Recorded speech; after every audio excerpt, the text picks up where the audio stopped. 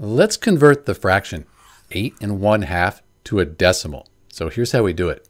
Probably the easiest way is you have 8. That's a whole number. So you could just write 8 and then convert 1 half to a decimal. And you might already know that 1 half is just 0.5.